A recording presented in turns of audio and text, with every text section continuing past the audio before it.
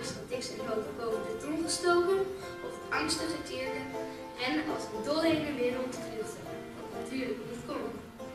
Dit maakt het vlecht gaat los en haalde het diertje eruit zijn we zijn in de Baron.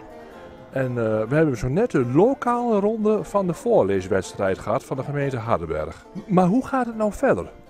Hoe gaat het nu verder? Er zijn eh, 29 school- schoolkampioenen in de gemeente Hardenberg. En die hebben wij verdeeld over drie rondes.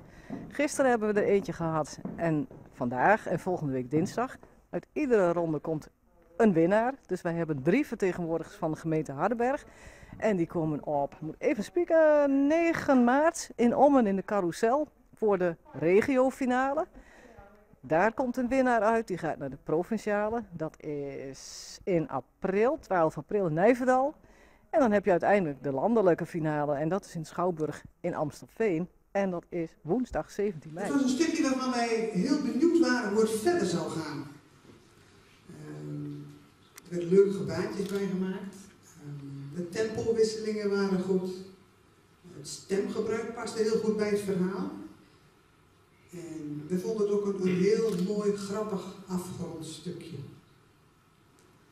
En wie zou nou gewonnen hebben? Sophie Armin.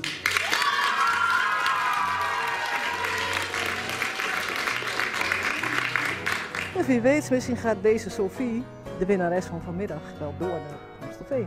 Zou mooi zijn. Dat zou inderdaad mooi zijn. Nou Ina, het is me helemaal duidelijk.